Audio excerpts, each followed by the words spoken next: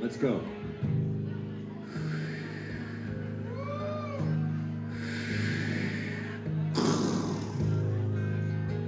Old Ella felt bad. She didn't know what she had. So she went down to see the old doctor. She tried to drop a load, but the tests they all showed an obstruction had gone up and blocked her.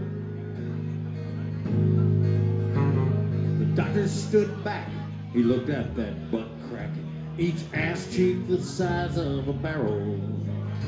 He slipped on his gloves and he pushed and he shoved in the rectum of Ella Fitzgerald.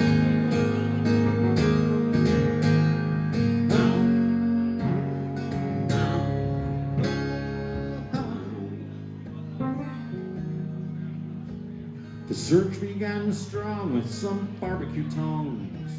He pulled out two plums and a melon.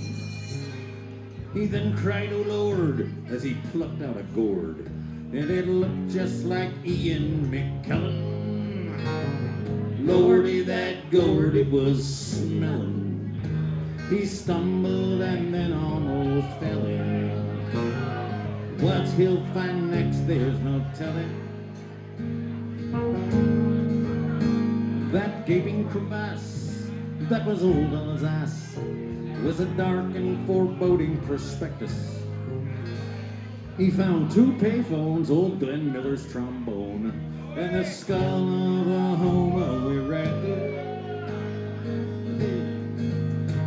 Over there on the side, Jimmy Hoffa had died, and he lay there all stinking and rotten. Then George Bush sent in troops to parade through the poop in the search for Osama bin Laden.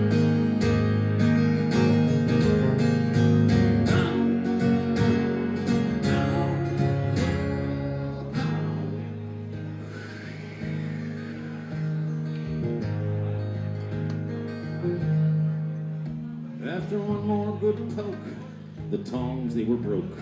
So he called for a pick and a shovel. He tried to be brave as he looked in that cave, and he said, Lads, we might be in trouble. We're going inside of a hole brown and wide with an atmosphere surely not sterile. So strap on your mask and we'll finish the task in the rectum of Ella Fitzgerald.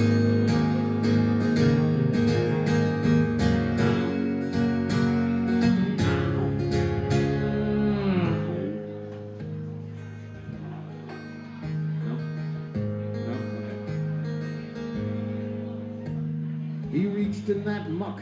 They're gonna miss the end. That's the worst. End's the best part. He reached in that muck and he pulled out a duck. Seven pheasants, a goose, and a gander. A scale model train and an ultralight plane. And a rusted but working belt sander. Then later lunar lander. Well, their luck soon change when they hired a crane. And they pulled out that broken bulldozer. The people all cheered. For her arse was now cleared. And the only job left was the closer.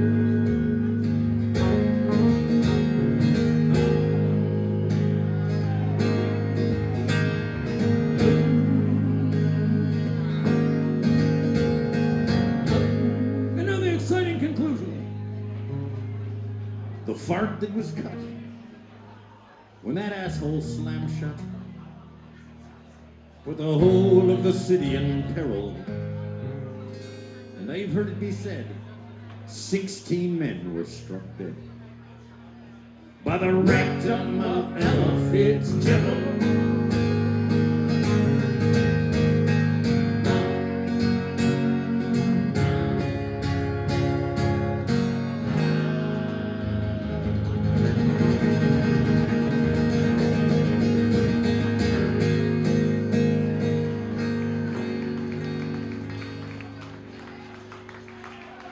Thank you for your